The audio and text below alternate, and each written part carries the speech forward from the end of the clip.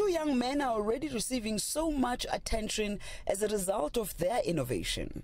They designed their machine with little knowledge and resources, and in fact, did so out of frustration caused by the high cost of testing prototype circuit boards and the protracted process involved in tests.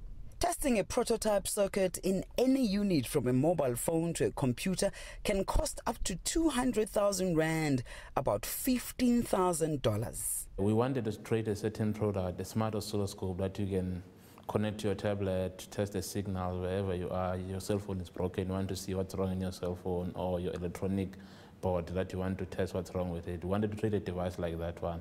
So we, we sat down with my partner then to to decide what do we need in order for us to create a prototype that can take to an investor and say, I've created something like this. I want you to invest in this kind of product. After developing the first mobile computer numerical control machine prototype, Nhloko found there was massive demand for testing the viability of prototypes within communities. There is a demand for, for, for testing prototypes in our local communities in terms of not only in South Africa, also in Africa as, uh, as well. Um, people, they've got ideas, then they design whatever you want to design, you have to send it to somebody else who's going to charge you a lot of money to produce it. But if there's a mistake in that, you still have to be charged for that. So if you have access to the kind of the tools that to do to develop, you are able to quickly test your, your, your, your, your, your prototype and see if it works. Then if it does not work, you redesign and also and, and, and, and, and produce another prototype that is working. Nhloko says the technology is user-friendly. A person with no knowledge of computing can have a basic understanding of how to test a prototype within a day.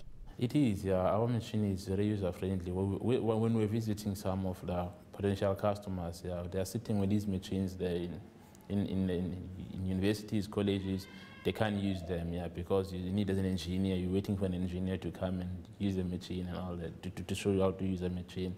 And the machines that are developed by other companies, like you'll find that they are developed for somebody who's got skills in terms of computing and all that. Yeah. But our machine is made for a guy on the street. Nhloko emphasizes that this journey has not been easy, but government has been of great assistance.